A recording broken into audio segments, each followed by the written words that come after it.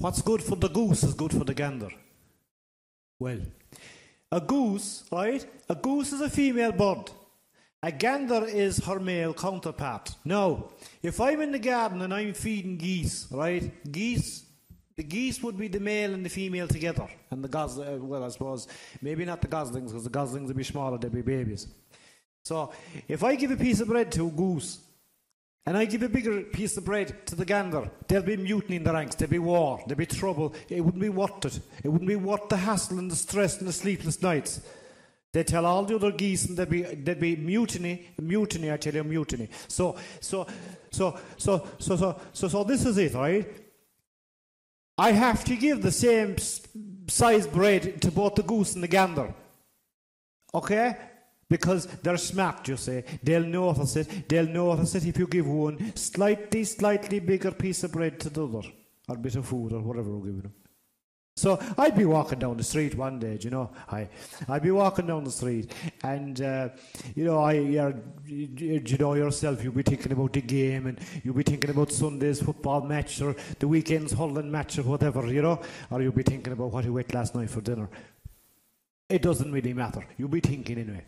And I remember one day Paddy came up to me, and Paddy was.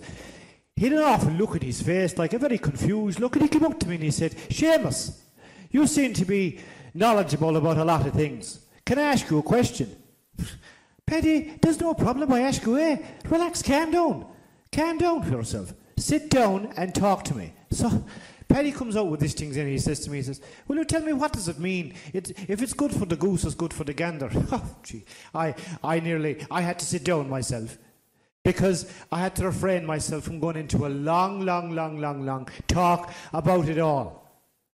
So I said to him like this, I said, listen, the goose and the gander, they're very competitive.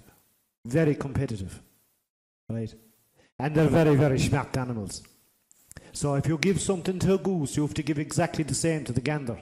Because they'll get infuriated. They'll get infuriated, they'll get jealous, they won't be able to. All the emotions that flow to them, they won't be able to handle it.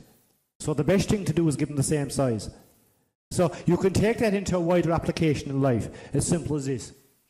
What's good for a woman is good for a man. And by God, uh, if, if, if that was ever true, it's true today.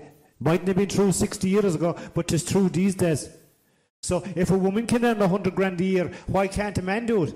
Or if a man earned 2 euros a day, why can't a woman earn two, two, two euros a day? That's it, no, Paddy?